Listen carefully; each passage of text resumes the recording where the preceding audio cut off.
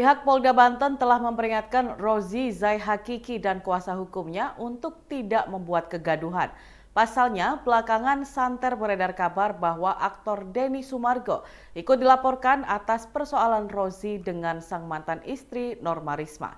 Kabit Humas Polda Banten Kombes Sinto Silitonga membantah adanya laporan polisi yang ditujukan Rozi kepada Denny Sumargo.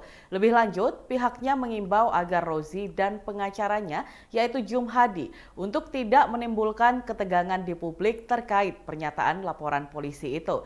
Menurut Sinto, kedatangan Rozi dan kuasa hukumnya pada Kamis 5 Januari lalu hanya untuk dimintai keterangan untuk melengkapi fakta-fakta hukum.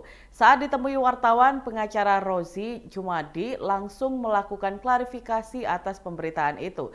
Ia mengungkapkan bahwa sejatinya pihaknya memang tidak pernah melaporkan Denny Sumargo. Jumadi mengatakan pihak Rozi hanya melaporkan Norma Risma.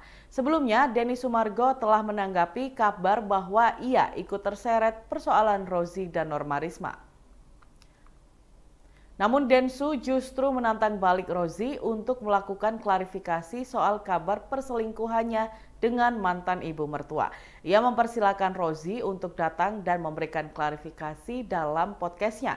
Tak hanya memintanya memberikan klarifikasi, ia juga turut memberikan nasihat. Menurut Densu, menempuh jalur hukum hanya akan menguras harta Rozi untuk menyewa jasa pengacara.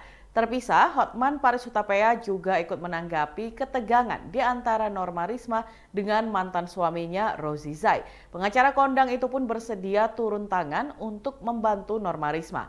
Hotman sendiri menyebut bahwa ia sedang mempelajari kasus pencemaran nama baik yang dihadapi Norma Risma. Ia juga menilai kasus itu lemah apabila dibawa ke jalur hukum. Pasalnya, berdasarkan SK yang ada, kasus pencemaran nama baik akan gugur jika terlapor bisa bisa membuktikan bahwa kabar yang ia sebarkan memang suatu kebenaran.